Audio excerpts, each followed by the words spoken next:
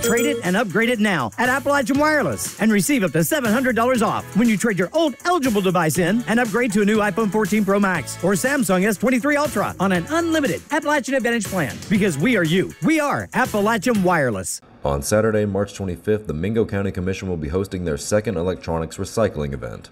Due to regular waste disposal companies being unable to properly dispose of household electronics, the Commission is taking it upon themselves to do so. By partnering with Tri State eScrap, Mingo County residents can safely throw away their old devices.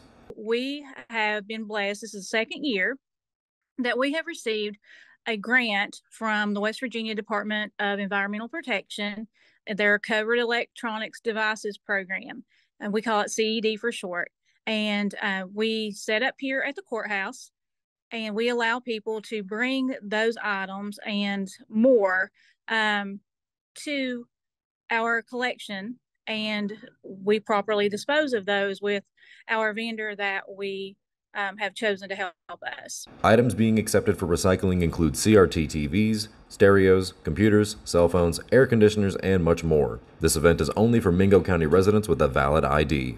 The vendor that we work with, Tri State E Scrap, they are um, certified with the West Virginia Department of Environmental Protection, and they do several different things um, with the devices once they take them, depending on what that device is. And yes, they do get recycled in you know various and sundry ways. This um, opportunity that we have to work with the DEP and get those things out of people's houses is really a win-win for um, everybody because you don't have those littering um, the roadways, the sidewalks in towns, and you know people don't have them cluttering their houses. It's completely free to the public because we are grant funded through the West Virginia Department of Environmental Protection.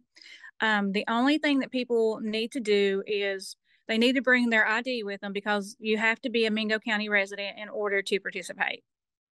Reporting for Mountaintop News, I'm Nick Collum.